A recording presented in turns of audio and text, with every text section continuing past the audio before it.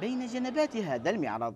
يرتسم مستقبل حضرموت ورؤيتها المستقبلية على أيدي 180 من أبنائها المشاركين في فعاليات معرض حضرموت الأول للاختراع والذي تقيمه مؤسسة حضرموت للاختراع. الغرض من المعرض اللي هو إظهار الاختراعات ورسم مستقبل ورؤية حضرموت التنموية. هؤلاء المخترعين يمثلون حضرموت في ممثلين لعدن. مخترعين صغار ومخترعين كبار فوق 18 سنة.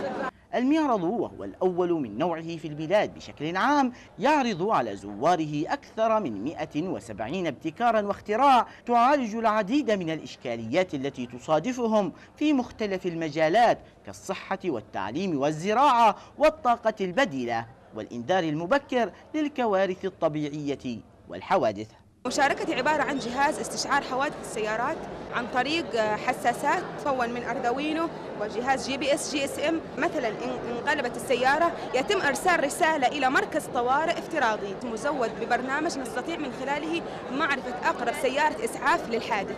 وبالتالي نضمن الإنقاذ السريع لسائقي المركبات.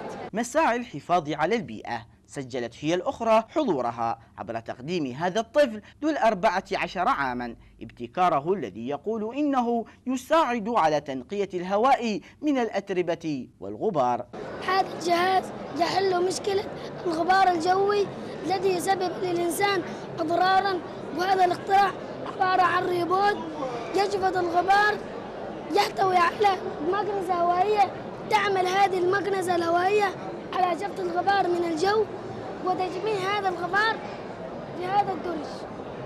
سالم ليس الطفل الوحيد الذي يشارك في هذا المعرض فغالبية المشاركين هنا هم من طلاب المدارس الابتدائية الذين انضموا إلى برنامج المخترع الصغير الذي تنفذه المؤسسة والهادف لاستكشاف المواهب والقدرات لطلاب المدارس الحكومية بشكل يساعدهم في تنميتها وتطويرها.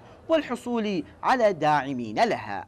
يوجه هذا المعرض رسائل عدة. أهمها أن حضرموت ستبقى أرض العلم والمعرفة والتميز وإن لديها النوابغ الذين يستطيعون أن يبهروا العالم بقدراتهم وإبداعاتهم. محمد اليزيدي لقناة بلقيس المكلا.